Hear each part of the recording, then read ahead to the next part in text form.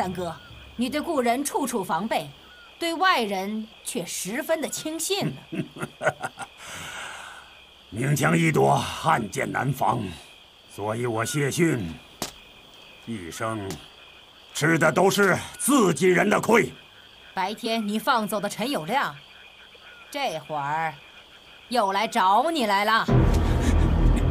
陈友谅，他又来干什么？白天你饶他性命之时，你可知道他手上脚下摆的都是什么招式？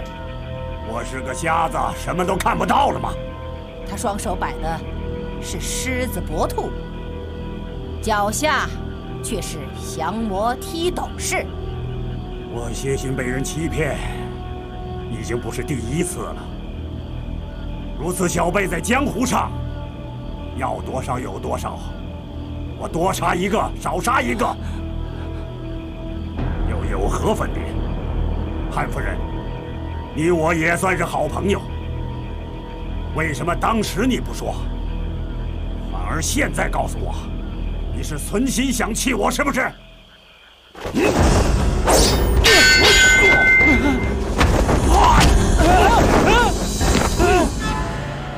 我杀你就像杀鸡一样。只是有言在先，准你十年之后再来找我。从今天开始，不要让我在岛上碰见你，否则便取你狗命！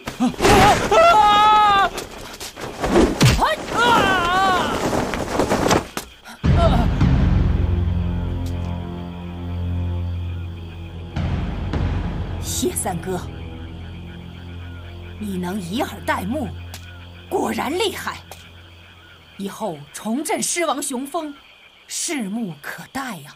我谢逊身上血债如山，就算死得再惨也是应该的。还说什么纵横江湖？明教护教法王，杀几个人又算什么？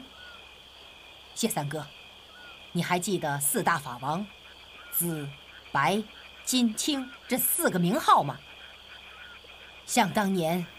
咱们在杨教主手下，丁二哥、福王韦四哥，再加上你我，横行天下，所向无敌。都是旧事了，还提它干什么？大家都老了。谢三哥，我老眼还未花，难道看不出来你的武功比二十年前可大有长进？你何必谦虚呢？三哥，咱们在这个世上。也没有多少好日子可活了。依我说，明教四大法王联手江湖，再轰轰烈烈的干上一番事业。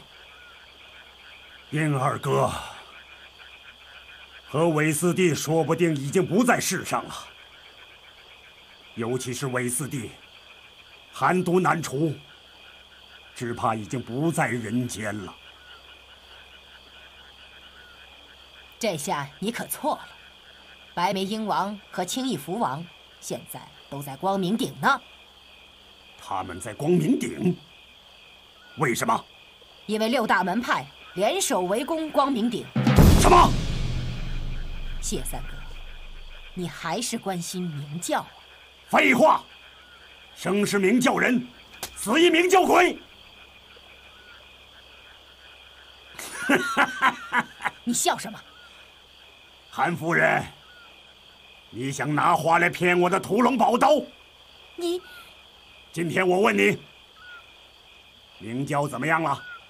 我们的老朋友又怎么样了？你说你不知道，你说你没打听江湖上的事，那现在又怎么样？我承认，白天我没跟你说实话。现在我老实说，这个阿离。就是殷二哥的亲孙女，因为他得罪了父亲殷野王，他父亲要杀他，是我救了他。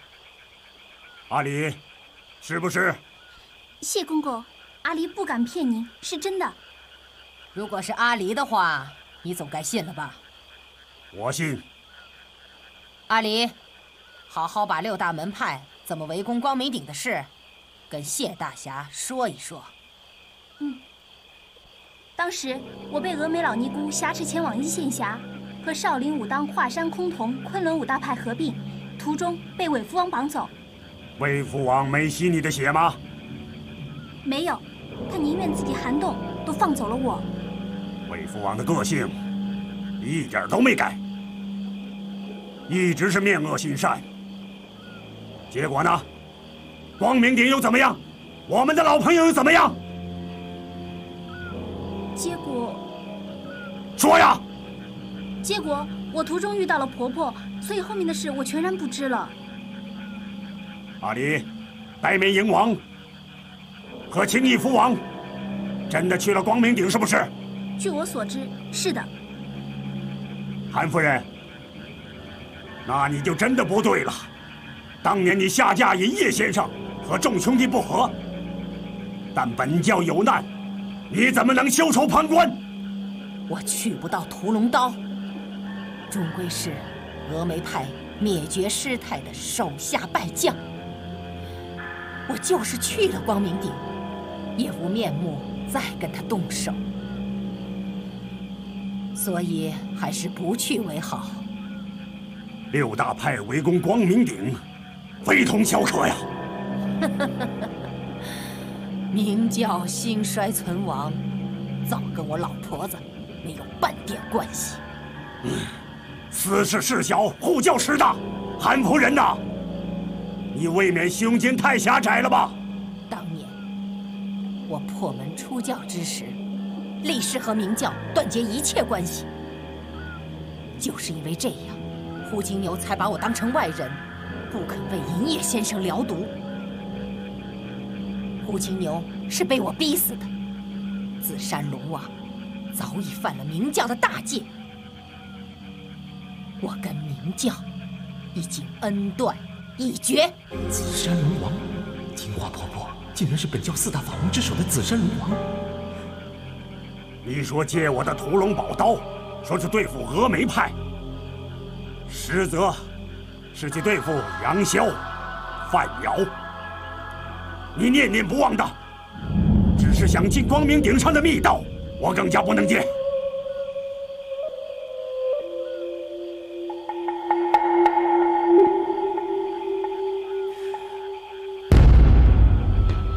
有一件事，我一直耿耿于怀：为什么你会得知我隐居在冰火岛？事到如今，我也不需再瞒你了。先前，我遇到了一个名叫武烈的人，也是老天帮我，让我听到了他和女儿的对话，给我发现了破绽。在我的威逼之下，他说出了真相。这个姓武的，见过我的无忌孩儿，是不是？是他设计，欺骗我的孩儿。探听到了我的秘密，谢三哥。当年你我的武功高下如何？四大法王各有所长。如今你没了一对招子，再跟我老婆子比试呢？我有屠龙宝刀在手，抵得过一对眼睛。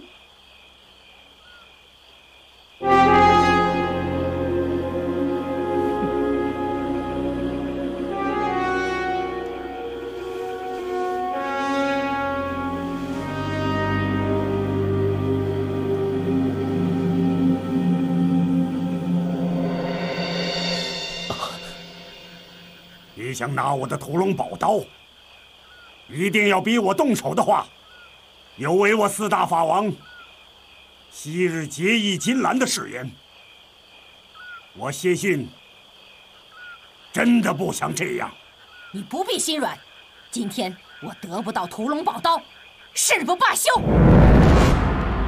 你要取屠龙宝刀，先杀我谢逊。嗯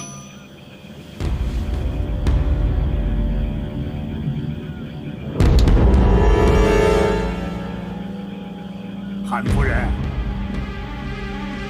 你的名字叫紫山龙王，犯了此刀的忌讳，与我一战，与你不利。说不定，我这杀师杖，先杀了你这瞎眼狮子。看招！